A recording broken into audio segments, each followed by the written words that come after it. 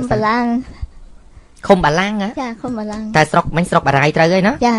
ចាបាទបាទអឺតែអាហ្នឹងបើស្អែកគេប្តឹងហើយហ្នឹងយើងត្រូវហៅទៅតាមគេវាចាហើយចុះគាត់ប្តឹងគាត់ប្តឹងវិបត្តិអីមកចង់បានអឺនៅក្នុងឯកសារដីចង់គេបានដីដីគេចាវាចង់រករឿងដីគេហើយខ្ញុំមិនដាក់រឿងដីគេណាគេចាដាក់អឺរឿងរត់នេះឲ្យចង់និយាយថាដីទាំងអស់អីអីហ្នឹងគឺចាអឺពុកម្ដាយចែកឲ្យ អឺពុកម្ដាយស្លាប់អស់ហើយចាតាំងពីនេះតែឈ្មោះគាត់មកគាត់ចែកឲ្យយើងមែនឈ្មោះចែករបស់ខ្ញុំហ្មរបស់ងគាត់ចាសម័យអពតអាទៅគេឲ្យខ្ញុំហ្មងអឺចាហើយយើងចាធ្វើប្លង់រឹងប្លង់អីឈ្មោះយើងអស់ហើយចាឈ្មោះបងប្អូនអមានស់ពីរនាក់ហ្នឹងទេចាអឺហើយវានៅអសុកគាត់គ្មានប្តីគ្មានចាអីហ្នឹងហើយក៏ឆ្លោះគ្នាទៅណាលោកអើយស្មាទោះឲ្យយើងនិយាយអាក្រក់ចាទៅថាវាយកទៅណាវាគង់ឲ្យបងប្អូនសាច់ឈាមយើងទៅដែរហ្នឹងណាចាអឺ ជនអ្នកមិអ្នកមិញអញ្ជើញឡើងមកហ្នឹងគាត់ដឹងទេអ្នកនៅកំពង់ធំដឹងទេឥឡូវដឹងដឹងដឹងខឹងខឹងចាមានលេខគាត់អត់ចាមានលេខទេអត់អត់មានឈ្មោះអីបងបងឈ្មោះអីឈ្មោះផនបងផកនងផនចាស្រីអាយុប៉ុន្មានអីអាយុចិត្តទៀងហើយចិត្តអឺបើហើយហើយយកទៅណាបងប្អូនគ្នាចាលោកអើយមិនមែនថាស្អីទេស្រឡាញ់ចាគ្នាទៅចែកគ្នាហូបទៅអាយុច្រើនច្រើនណាស់បើយើងនិយាយអាអាក្រក់មួយម៉ាត់ចុះយើងចង់និយាយអញ្ចេះ អើបើទ្រព្យសម្បត្តិបើសិនជាថាបើយើងឆ្លាតបើយើងមើលទៅបើក្មួយណាកើតកើតអានេះយើងលក់ហូបដើរលេងស៊ីចាយខ្លួនឯងទៅប៉ុន្តែបើនរណាមើលថែទាំយើងអូខេដែរយើងទុកឲ្យគ្នាខ្លះទៅអានឹងជីវិតយើងវាប៉ុណ្ណឹងហើយគាត់គ្មានកូនគ្មានចៅនៅខេត្តនៅអីទៀតទៅឆ្លោះគ្នាទៅណាគេអត់គិតចឹងទេគេយល់អ្នកថាវិញត្រូវត្រូវបងប្អូនណាណោះក្មួយក្មួយបកើតអឺក្មួយខាងគ្រូមួយទៀតក្មួយខ្ញុំមួយបងខ្ញុំប្រុសចាអ្នកមិញហើយគេមានបងប្អូនម៉ាននាក់ឲ្យវា មានបងប្អូនប៉ុន្មាននាក់បងមានពីរនាក់ស្រីស្រីនេះគេមកអាពតគេវាយចាតែលពូមេភូមិមេឃុំអីគាត់មានដឹងរឿងហ្នឹងទេគេដឹងតាចង់និយាយចេះរឿងបើដូចអ្នកមីងគាត់និយាយបងបងបងជួយហត់តិចមើលបានទេសូមអធិស្ឋានបងបងនេះបងប្អូនអត់អត់អីអត់អីបាទមកមកមកចង់និយាយចេះអឺអឺបើសិនជាយើងគិតមើលទៅមកអីទៅអូនគ្នាយើងតិចមកអត់អីទេនេះអឺដោយសារតែអឺចង់និយាយចេះបើដីថាប្លង់គាត់អីគាត់ហ្មងវាអត់មានអីពិបាកទេណាគីឡូមានតែគាត់ប្តឹងមកអឺអា កូពីអឺគេសុំមើលយកពីចេញប៉ណ្ណឹងហ្នឹងហើយហ្នឹងហើយមកសុំមើលសិនជប់អីជួយហុយឌីឌីស្អីគេហ្នឹងឌីខំឲ្យខ្ញុំលក់ឲ្យនេះវិវាទលំនៅឋានហ្នឹងមែនចាអូសភៅគ្រួសារឈ្មោះគាត់តែឯងទេណាចាអឺនេះស្អីទេរឿងប្តឹងផ្ដាល់ មើលយោងតាមពាក្យបណ្ដឹងរបស់កងផនហ្នឹងមែនបងអឺប្អូនស្រីហ៎ចាបងស្រីបងស្រីកងផនពេលស្រីអាយុ72ឆ្នាំមានទីលំនៅនៅភូមិដូងឃុំបាឡាំងស្រុកបារាយខេត្តកំពង់ធំហៅកាត់ថាភិក្ខីក៏បានប្តឹងតវ៉ាពីបញ្ហាដីលំនៅឋានដែលជាកេរមរតកពីពុំដែលបង្កើតដោយប្អូនបង្កើតឈ្មោះកងមេតហៅពេលស្រីអាយុ61ឆ្នាំមានទីលំនៅជាមួយគ្នាហៅកាត់ភិក្ខីខហ្នឹងបានអត់តតតតតណាសុំសិនកាន់នៃផ្ទុះច្រើនគិសនីមួយសិនពីប្រិមស្ដាប់បើយើងចាឡូជំរាបសួរបងអឺបងឥឡូវហ្នឹងចាញ់ចេញដាច់ភ្លើងហើយឬក៏នៅបង អូឆេះចេញខ្សែភ្លើងហ្នឹងណាចាអឺទីតាំងមិញនៅស្ពានលេខមែនបងនៅនៅចំណុចស្ពានលេខមែនមិញបងស្ពានលេខ11នៅទឹកដីកណ្ដាលស្ទឹងណាបងចាចាចាអរគុណបងជាមួយយើងតាក់ទងទៅខាងសមត្ថកិច្ចនិងអាជ្ញាធរនៅខាងហ្នឹងបងណា ចាចាអរគុណប្រិយមិត្តស្ដាប់បើយើងនេះព័ត៌មានបឋមករណីអឺឆេះខ្សែភ្លើងចេញពីអឺបកោភ្លើងនៅតាមបណ្ដោយផ្លូវជាតិលេខ2ចានៅអឺស្ពានលេខ11ទឹកដីខាងអឺភូមិព្រែកអង្គុញចាស្រុកអឺខ្សាច់កដាអើយស្រុកកដាស្ទឹងខាងខេត្តកដាបាទបាទយើងចាហ្នឹងហើយអូគាត់តែមើលសេចក្តីហ្នឹងយល់ហើយអញ្ចឹងអាហ្នឹងរឿងហ្នឹងមានតែឡើងតាមគេហ្នឹងអ្នកបិញហើយធ្វើមិនទេបើប្តឹងផ្ដាល់ព្រោះយើងក៏បានទៅសម្ភាសសួរនាំហើយអាហ្នឹងមិនមិនយើងមានលេខមេភូមិអីអត់លេខមេភូមិអត់មានអត់មានលេខមេភូមិគាត់មានមានណោះដែរ បើមានចាំកត់នេះគាត់ប្តឹងហ្នឹងនេះនេះប្តឹងហ្នឹងពីបត់នេះប្រិមិត្តរបស់យើងណាដែលខាងបងបកកើតរបស់គាត់បងកនផនហ្នឹងណាបានគាត់ប្តឹងពីបញ្ហាដីលំនៅឋានគាត់ថាដៃជាគេមរតកពីឪពុកម្ដាយបកកើតគាត់ថាដោយប្អូនស្រីបង្កើតឈ្មោះកងមេតភេទស្រីអាយុ66ឆ្នាំមានទីលំនៅនៅភូមិស្រុកខេត្តជាមួយគ្នាហ្នឹងហៅកាត់ថាភិក្ខីខហ្នឹងបានទៅធ្វើប្លង់កាន់កាប់ដីនេះជាប្រព័ន្ធនៅការិយាល័យសុរិយោដីភូមិតបាលស្រុកយកតែម្នាក់ឯងហើយបំរុងលក់ដីនេះទៅឲ្យក្មួយបង្កើតឈ្មោះថាស៊ូនីនបងមែន អូភេទស្រីនៅភ្នំពេញតែនាងខ្ញុំឈ្មោះកងផនសុំតវ៉ាទោះបីខុសត្រូវយ៉ាងណាខ្ញុំមិនចង់ឲ្យបាត់បង់ដីកេអកទៅលើនរណាម្នាក់ព្រោះខ្ញុំស្ដាយទើបខ្ញុំសម្រេចចិត្តអឺទិញយកដីនេះពីប្អូនដើម្បីបានរស់នៅលើទឹកដីនេះបន្តទៅទៀតដោយសន្យាប្រគល់លុយគ្រប់ចំនួនចំពោះប្អូនឈ្មោះកងមេតអឺសូមឲ្យរស់នៅជាធម្មតាលើដីនេះដូចអឺកាលពីមុនទៀតដល់អស់ជីវិតចុងក្រោយអូហ្នឹងហើយតាមចម្លើយរបស់ឈ្មោះកងមេតបានឆ្លើយបំភ្លឺថា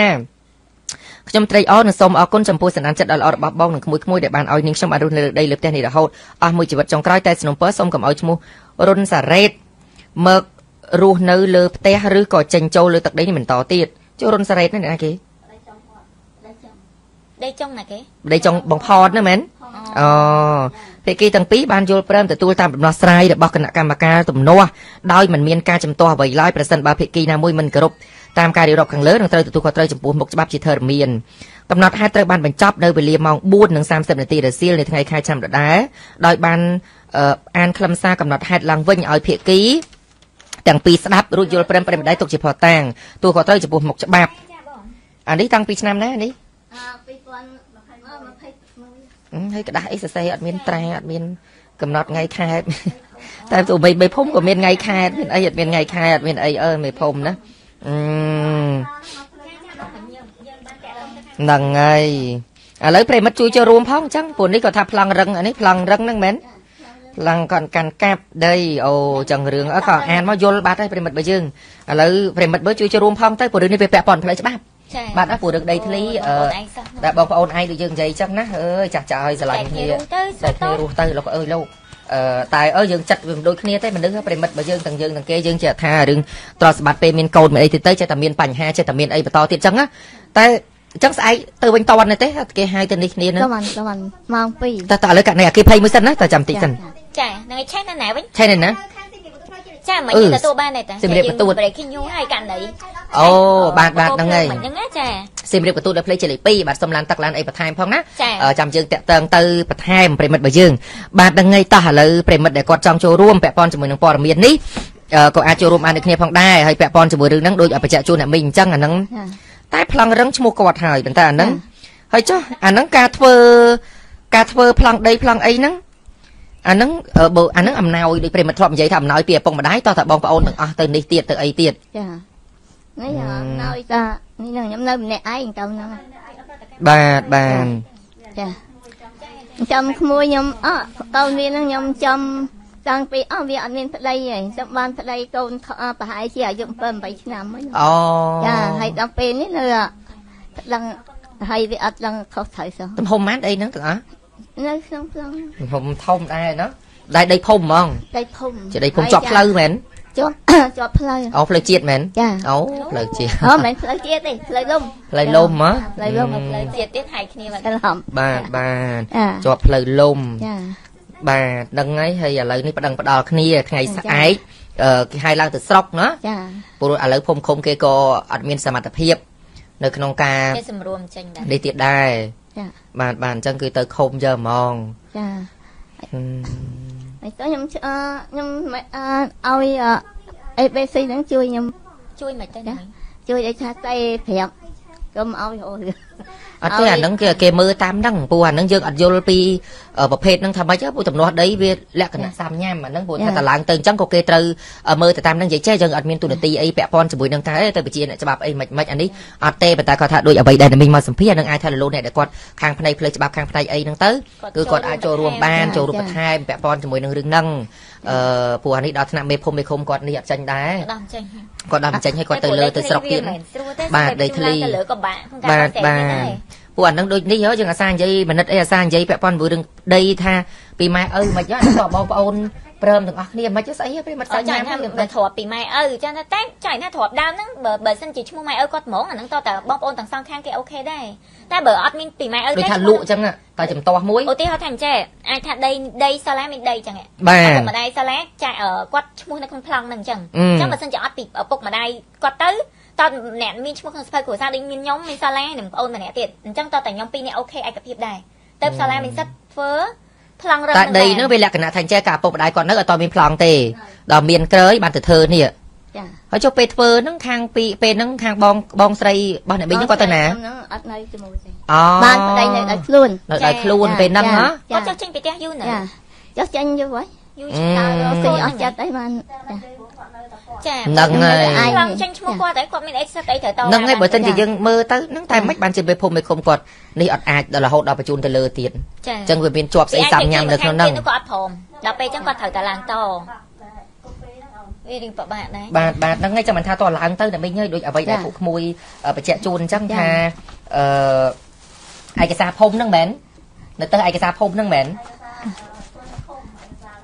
ហ្នឹងឯកសារហ្នឹងមែនថាទៅទៅអាហ្នឹងមែនអូហ្នឹងហើយ អាហ្នឹងដោយសារពេលហ្នឹងយើងប្រើទទួលស្គាល់ត្រូវអត់អ្នកផ្សំចាគេអត់ឲ្យអូថាលក់ឲ្យហ្នឹងអញ្ចឹងចាលុយអត់មានបាន100មួយរៀលទេតែចាអឺតែយើងយកអូខេថាលក់ឲ្យគេអញ្ចឹងពេលនេះជាប់អាហ្នឹងមែនដែលមេភូមិមេឃុំថាហ្នឹងខ្ញុំខ្ញុំតែសុំទេគេអត់ឲ្យអាឡងវាពាក្យសន្យាមានចាអឺហើយទៅដល់ពេលទៅគេដល់ពេលនេះគេចោះឲ្យទៀតហ៎បងខ្ញុំទៅប្តឹងទៅទៀតហ៎រករឿងទៀតហ៎អូ